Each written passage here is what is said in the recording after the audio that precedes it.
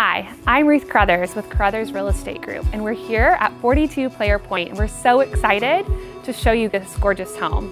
Inside, you'll find a bright white kitchen, and outside, you'll find a gorgeous putting green and the golf course right behind you. Come on in.